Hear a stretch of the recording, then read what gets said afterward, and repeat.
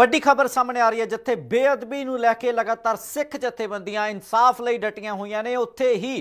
Raghav Chadha Aam Aadmi party ਤੋਂ ਸੰਸਦ ਰਾਘਵ ਚੱਡਾ ਵੱਲੋਂ ਵੀ ਰਾਜ ਸਭਾ 'ਚ ਬੋਲਦਿਆਂ ਇੱਕ ਵਾਰ ਮੁੜ ਤੋਂ ਮੁੱਦਾ ਚੱਕਿਆ ਗਿਆ। ਬੇਅਦਬੀ ਦੇ ਮਸਲੇ ਉੱਤੇ ਰਾਘਵ ਚੱਡਾ ਨੇ ਐਕਸ਼ਨ ਦੀ ਮੰਗ ਕੀਤੀ ਹੈ। ਕਿਹਾ ਹੈ ਕਿ ਦੋਸ਼ੀਆਂ ਦੇ ਖਿਲਾਫ ਸਖਤ ਤੋਂ ਸਖਤ ਕਾਰਵਾਈ ਕੀਤੀ ਜਾਵੇ। ਕਾਨੂੰਨ ਦੇ ਵਿੱਚ ਅਜਿਹਾ ਬਦਲਾਅ ਕਰਨ ਦੀ ਮਨਜ਼ੂਰੀ ਦਿੱਤੀ ਜਾਵੇ ਕਿ ਬੇਅਦਬੀ ਦੇ ਦੋਸ਼ੀਆਂ ਨੂੰ ਸਖਤ ਤੋਂ ਸਖਤ ਸਜ਼ਾ ਦਿੱਤੀ ਜਾ ਸਕੇ ਤਾਂ ਜੋ ਕੋਈ ਵੀ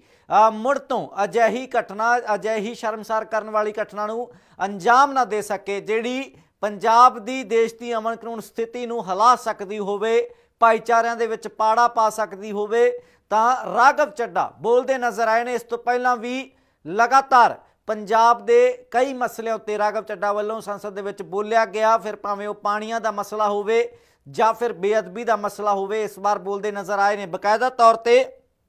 ਚਿੱਠੀ ਲਿਖ ਕੇ ਵੀ ਮੰਗ ਕੀਤੀ ਹੈ ਕਿ ਬੇਅਦਬੀ ਦੇ ਦੋਸ਼ੀਆਂ ਨੂੰ ਕਿਸੇ ਤਰੀਕੇ ਵੀ ਕੋਈ ਵੀ ਢਿੱਲ ਨਹੀਂ ਮਿਲਣੀ ਚਾਹੀਦੀ। ਜਲਦ ਤੋਂ ਜਲਦ ਤੇ ਸਖਤ ਤੋਂ ਸਖਤ ਸਜ਼ਾ ਬੇਅਦਬੀ ਦੇ ਦੋਸ਼ੀਆਂ ਨੂੰ ਮਿਲਣੀ ਚਾਹੀਦੀ ਹੈ ਤਾਂ ਜੋ ਇੱਕ ਉਦਾਹਰਣ ਬਣ ਸਕੇ। ਮੁੜ ਤੋਂ ਕੋਈ ਹੋਰ ਫਿਰ ਅਜਿਹੀ ਸ਼ਰਮਸਾਰ ਕਰਨ ਵਾਲੀ ਘਟਨਾ ਨੂੰ ਅੰਜਾਮ ਨਾ ਦੇਵੇ ਜਾਂ ਫਿਰ ਅਜਿਹੀ ਅਮਨ ਕਾਨੂੰਨ ਸਥਿਤੀ ਹਿਲਾਉਣ ਵਾਲੀ ਭਾਈਚਾਰਿਆਂ ਦੇ ਵਿੱਚ ਵੈਰ ਪਾਉਣ ਵਾਲੀ ਘਟਨਾ, ਬੇਅਦਬੀ ਦੀ ਘਟਨਾ, ਧਾਰਮਿਕ ਭਾਵਨਾਵਾਂ ਨੂੰ ਠੇਸ ਪਹੁੰਚਾਉਣ ਵਾਲੀ ਘਟਨਾ ਨੂੰ ਅੰਜਾਮ ਨਾ ਦੇ ਸਕੇ ਕੋਈ, ਇਸ ਕਰਕੇ ਬਕਾਇਦਾ ਤੌਰ ਤੇ ਸਖਤ ਸਖਤ ਸਜ਼ਾ ਦਿੱਤੀ ਜਾਵੇ ਤੇ ਜੇਕਰ ਉਸ ਲਈ ਫਿਰ ਭਾਵੇਂ ਕਾਨੂੰਨ ਦੇ ਵਿੱਚ ਹੀ ਬਦਲਾਅ ਕਿਉਂ ਨਾ ਕਰਨਾ ਪਵੇ ਤਾਂ ਕੇਂਦਰ ਸਰਕਾਰ ਉਸ ਵਾਸਤੇ ਵੀ ਮਨਜ਼ੂਰੀ ਦੇਵੇ ਤਾਂ ਜੋ ਕਾਨੂੰਨ ਦੇ ਵਿੱਚ ਬਦਲਾਅ ਕਰਕੇ ਦੋਸ਼ੀਆਂ ਨੂੰ ਸਖਤ ਸਖਤ ਸਜ਼ਾ ਦਿੱਤੀ ਜਾਵੇ।